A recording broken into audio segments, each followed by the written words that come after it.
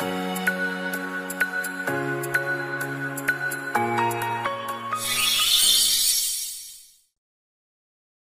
い、えー、こんにちは、レトスノーノです。3月21日の3問に入る前にアドバイスをさせていただきます。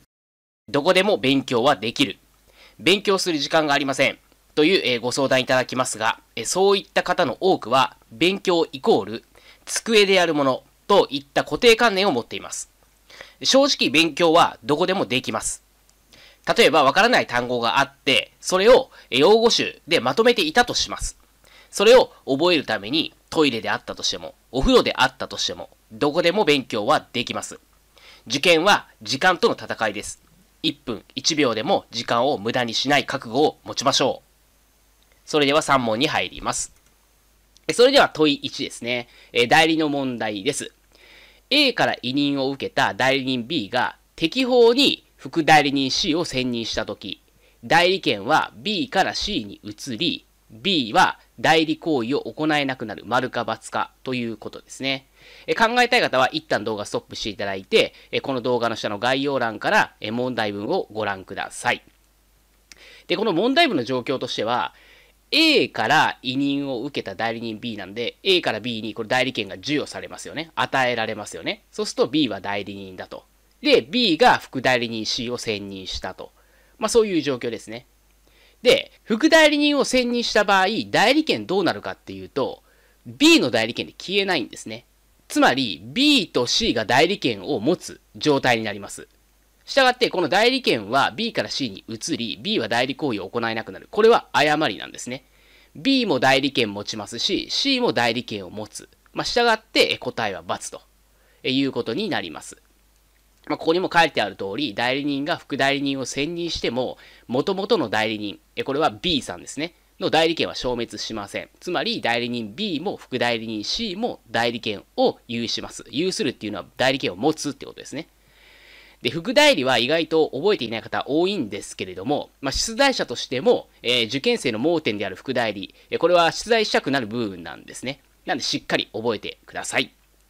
で、問い2ですね。営業保証金の還付が行われ、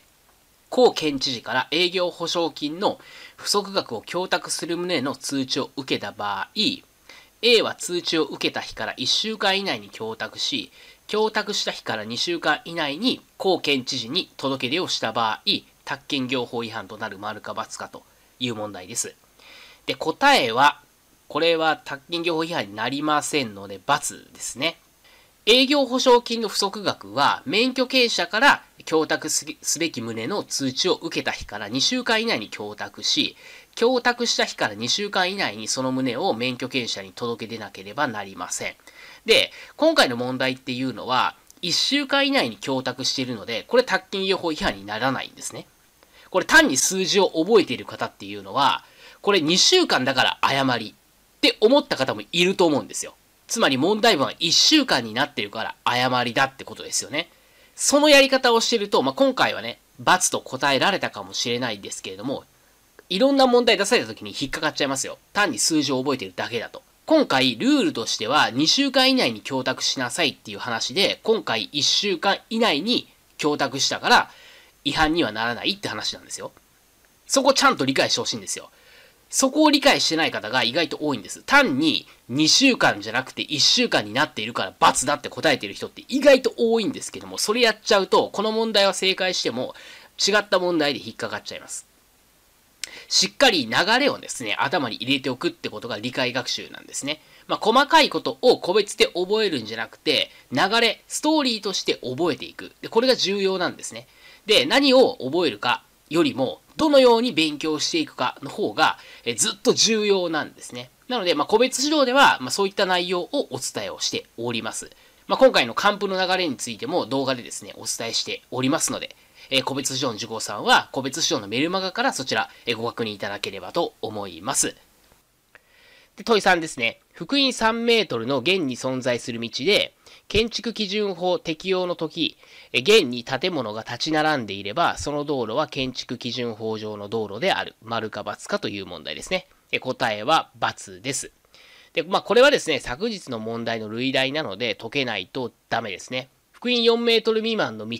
福音っていうのは幅ですね。幅が4メートル未満の道で、特定行政庁が指定したものについては建築基準法上の道路になります。しかし、特定行政庁の指定がなければ、その道っていうのは建築基準法上の道路にはならないんですね。まあ、実際に、えー、狭い道の奥に建物が建っている場合ってあるんですよ。で、そういったところっていうのは、その狭い道について、特定行政庁が指定することで、建築基準法上の道路とみなされるんですね。で、その結果、建物を建てることができるわけなんですよ。まあ、基本的に4メーター未満の狭い道に接していても、その道が特定行政庁の指定を受けていないと、建築基準法上の道路とみなされないので、建物を建てること、まあ、建て替えとかですね、はできないです。なので、建物を建てる際に、えー、接道している、つまり、ま、接している道路が、建築基準法上の道路かどうなのか、それはすごく重要だっていうことなんですね。もし建築基準法上の道路に接していなければ建て替えができないので、そんな土地買ったとしても建物建てれないってことになるわけなんでね。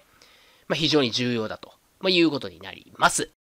卓球の勉強していて難しいな、何言ってんのかわかんないな、面白くないな、もしそう思われているのであれば、ぜひ弊社レトスの個別指導をご検討ください。宅建の内容自体はそれほど難しくありません。お持ちの教材が難しく書かれているから難しく感じちゃうんですね。弊社レトスの教材はできるだけ具体例を入れたり、イメージを入れたり、また言葉を噛み砕いたりして解説させていただいております。なのであなたにも理解をしていただけます。もし勉強していて実力が上がっている実感がない、また本試験で思った点数が取れない、そう思っている方はぜひ個別指導をご検討ください。個別指導ではやったらやった分だけ実力を上げていただくことが可能ですもしあなたが次の試験で絶対合格したいというのであればぜひ個別指導をご検討ください。個別指導についてはこの動画の下の概要欄に URL 貼っておきますのでぜひご確認いただければと思います。あなたの受講お待ちしております。宅建合格目指して一緒に頑張っていきましょう。